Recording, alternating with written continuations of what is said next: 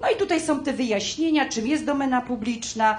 Y, Tutaj trzy punkty tylko napisałam, najważniejsze, że 70 lat od śmierci autora, em, y, 70 lat od pierwszego rozpowszechnienia y, i utwór audiowizualny, tam kto ma prawa. I na końcu jest klauzula taka ochronna, bo w każdym przypadku, gdzie tylko mogę, gdzie widzę, że jest jakaś niepewność prawa, prawna, zastawiam się w KPBC klauzulą ochronną. Wyjaśnienie to nie wyczerpuje. Tak? Wobec mnie prawnicy też tak post- postępują. Jak ja prawnika o coś pytam, to do mnie mywam, że. No i teraz weź tu bibliotekarko sobie y, wyjaśnij, co to znaczy domniemywam, że, nie? No, więc ja sobie też tak piszę. Wyjaśnienie to nie wyczerpuje wszystkich przypadków, bo nie wyczerpuje. I teraz tak, opis w KPBC tak wygląda. I teraz właśnie przejdziemy do tego opisu, bo ja wcześniej chciałam, za szybko chciałam do niego wejść. O, i teraz macie Państwo orędownik urzędowy. O, jeszcze urzędowy na dodatek jest, to już w ogóle bardzo fajnie. To jest stare czasopismo, które było wydawane przed wojną w Polsce, należy do domeny publicznej. Biblioteka w Bydgoszczy go wypuściła, tak? I tutaj proszę zobaczyć, bardzo prosto. Domena publiczna dla wszystkich bez ograniczeń. I teraz tak, kto musi podjąć decyzję, czy to jest w domenie publicznej, czy, czy, czy to nie jest w domenie. No tak jak wcześniej kolega mówił, my musimy sobie z tym wszystkim e, niestety radzić sami, bo, bo w przepisach polskiego prawa nie ma żadnej pomocy, która by nam pomogła w tym, żeby ustalić cokolwiek. Nie mamy też ksiąg wieczystych których by zapisane było, bo jak jest nieruchomość, budynek, jest księga wieczysta, tam jest wyraźnie, teraz jeszcze do internetu wypuścili niedawno, Państwo słyszeliście, księgi wieczyste. No to wchodzimy, patrzymy, a nieruchomość, ten właściciel, jakbyśmy tak w stosunku do utworu mieli, to by było bardzo sympatycznie, tak? Byśmy sobie weszli, patrzymy, jest właściciel, adres jest podany, bieżący, spadkobiercy, dzwonimy, pytamy, tak, i mamy, proszę?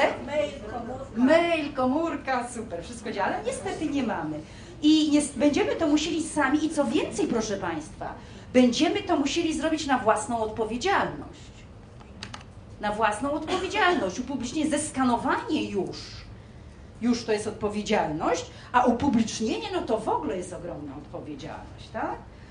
I może się okazać, że nawet jeśli w dobrej, słusznej sprawie uznaliśmy, że ten orędownik, tak, już, już, już jest w domenie publicznej wypuszcza, zgłosi się ktoś do nas i powie, tak jak tutaj y, Tomek mówił w przypadku Wikipedii, że to jednak naruszenie prawa jest autorskiego, tak?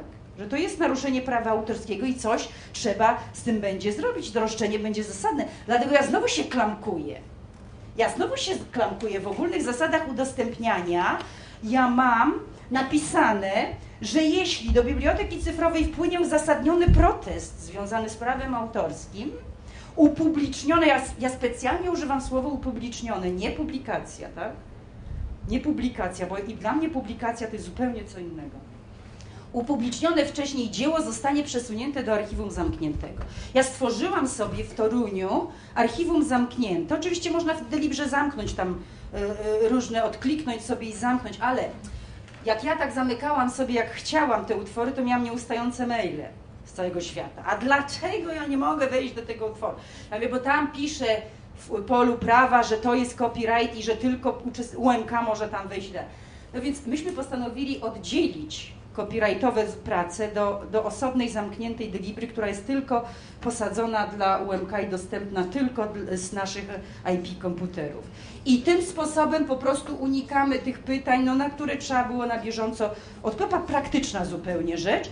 I ja mogę, jeżeli wpłynie uzasadniony protest, ten utwór przerzucić przerzucić do, do drugiego archiwum zamkniętego. Można to również zamykać tym, ale tak jak mówię, to będzie, będzie, będzie troszeczkę trudniejsze. No i w tym kontekście pojawia się pytanie, jeżeli ja biorę na siebie taką odpowiedzialność i muszę dokonywać takich ekwilibrystyk prawnych, z każdym utworem, bo ja się tym na co dzień zajmuję. Ja nic nie robię, tylko coś szukam, sprawdzam, dzwonię, prawda, y, ustalam. y, Czy, czy moje stanowisko pracy nie powinno się nazywać copyright librarian? To jest pytanie, dlaczego mnie to zastanowiło, bo w Bibliotece Kongresu jest copyright librarian, nie? A to jest najlepszy model w końcu. Jak patrzeć, to na najlepszy. Dobrze. I teraz oczywiście prawa autorskie, czyli te materiały, które podlegają prawu autorskiemu. Tak? Możemy je digitalizować, archiwizować i upubliczniać tylko za zgodą autorów lub ich spadkobierców. Zgoda ta jest zwykle udzielana na mm, zainteresowanej stronie na podstawie licencji, umowy w formie pisemnej lub ustnej. Słuchajcie, to lub ustnej dodałam niedawno. Nie wy, a nie wyłączna to w ogóle wczoraj w nocy dodałam. Tak się wczytałam już w prawo autorskie, kochani, że już wszystko teraz wiem. A uświadomił mi to też nasz kolega, który tu jest, na warsztatach. Tydzień temu mieliśmy takie warsztaty Koalicji Otwartej Edukacji, że w prawie autorskim są takie niuanse. Y, co innego jest umowa o przekazanie prawa, co innego jest umowa licencyjna, wyłączna i niewyłączna. Są trzy różne światy. Na szczęście ja w KPBC mam umowę niewyłączną, i to jest bardzo dobrze, to pani Sybilla Stanisławska-Kloc mi z, zrobiła to wiele, wiele lat temu, a ponieważ rzeczywiście no jest, to, jest to zaufany, zaufany e, e, krakowski ośrodek, więc ta umowa rzeczywiście od samego początku była bardzo dobrze sformułowana i wszystkie elementy istotne, ja tak liczyłam na to, że UJ mi to zrobi porządnie, i wszystkie istotne elementy w tej umowie mam, mam. Czyli właśnie ta, to jest bardzo ważne. I co, który element jest ważny? Ja nie wiedziałam tego od samego początku. Ja byłam przekonana, że ja muszę każdą umowę mieć na piśmie. I nagle się doczytałam w prawie autorskim, koledzy mi uświadomili, że tą niewyłączną to ja nie muszę mieć na piśmie, że mogę mieć też formę ustną. Ale co to znaczy formę ustną? Czy jak ja rozmawiam przez telefon i pan mi mówi, tak, pani se to zrobi, bo ja mam często takie rozmowy. Pani se to zrobi. Ja nie mam nic przeciwko temu. Co ja mam zrobić, żeby, żeby dopełnić tej, jak to się Basiu nazywa? Chodzi o dopełnienie formalności, jeśli chodzi o... Chodzi o dopełnienie tych dobrych, y, jest takie określenie prawnicze, że trzeba dopełnić wszystkich, y, Pani Sybillo, co... O, staranności, właśnie, poszukiwania, zapomniałam to sobie. I trzeba do, więc ja tak starannie się staram, ale starannie to znaczy co? Teraz dzwonię, mam zgodę, bo mam dużo takich telefonicznych, ostatnio od pani profesor Rosińskiej sprawy. O pani co zrobi, ja się zgadzam, Kopernika na wszystkie. Ale ja mówię, pani profesor, ale ja potrzebuję napisać. Dobra, popyt piszę. Ich pół roku czekam, nie ma licencji, nie przyszła. I teraz ja sobie wszędzie zapisuję. Ja sobie wszędzie dzwoniłam, rozmawiałam tego i tego dnia, pani profesor wyraziła zgodę. No tak działam. Tak mówię Państwu o tych rzeczach, bo, bo dla Was to jest ważne. Wy jesteście bibliotekarzami cyfrowymi, to jest ważne dla Was. Nie wiem, to trzeba będzie sądzę. Jak mnie zaskarżą, to się robię. tak czyli ustnej, czyli trzeba do tej staranności dopełnić, tak? czyli bardzo się starać, żeby to szło jak najlepiej, zgodnie z prawem. I teraz tak, pole opisu prawa, jak wygląda teraz cały zapis ten, bo w przypadku domeny publicznej wypełnialiśmy dwa elementy. Teraz mamy prawo, co do którego mamy copyright, tak? I teraz tak, to jest tutaj informacja o prawach zawartych, już czytaliśmy i tak dalej, i tak dalej. Tu jeszcze podaję dokładnie te definicje angielskie, żebyście Państwo sobie popatrzyli, jak to zostało przetłumaczone. I teraz tak, ja sobie tutaj wpisuję w to dwa elementy. W zależności od tego, z czym mam do czynienia. Albo piszę wszystkie prawa zastrzeżone, jeśli mam moją instytucjonalną y, y, umowę, którą mi przygotował UJ, tak, ja podpisuję są, albo jeśli mam do czynienia z CC, Creative Commons, to ich klauzulę, którą oni tak wprowadzili, nie wszystkie prawa zastrzeżone. Bo w przypadku CC tej, tej najbardziej restrykcyjne to tam są wszystkie, ale w przypadku CC zwykle są y, nie wszystkie prawa zastrzeżone. Czyli w to pierwsze pole pisze wszystkie prawa zastrzeżone. Właściciel praw, tu właścicielem praw do tego dzieła jest akurat syn profesora Karola Górskiego, który udzielił mi zgody na upublicznienie wszystkich utworów pana profesora, jakie kiedykolwiek powstały.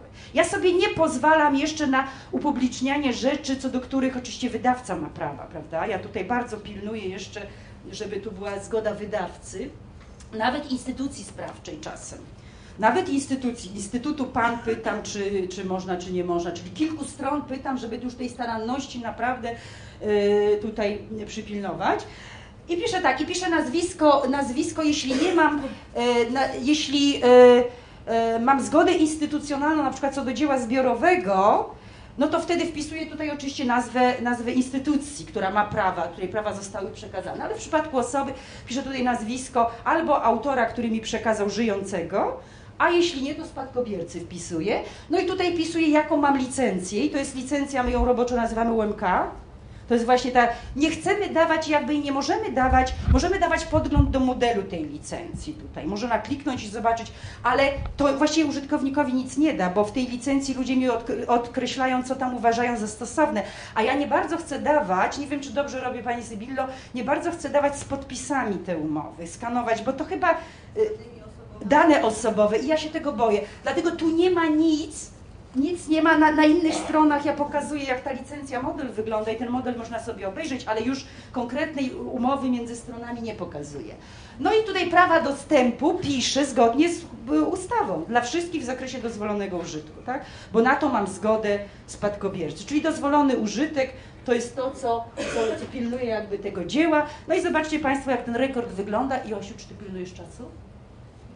Bo ja strasznie wygadać. I słuchajcie, to jest właśnie utwór, to jest książka pana profesora e, Karola Górskiego. Tu macie oczywiście autora, w 80 tu jest jego syn. No i tak, to, tak ten zapis wygląda. I tu już mamy cztery pola wypełnione, tak? Cztery pola wypełnione. Teraz zobaczmy, jak to wygląda dalej. To są bardzo praktyczne rzeczy, ale tak to już u mnie działa. Właściciel praw. Tutaj jedna uwaga przy właścicielu praw bo tutaj może być z definicji wynika osoba lub instytucja mająca prawa do zasobu, czyli autor mógł przekazać te prawa majątkowe instytucji i ona wtedy Polska Akademia Nauk jest napisana, czy jeśli biblioteka, tylko na przekazanie praw, proszę Państwa, tu trzeba uważać, bo tu już musicie mieć pisemną umowę o przekazanie praw, tu ustna nie może być.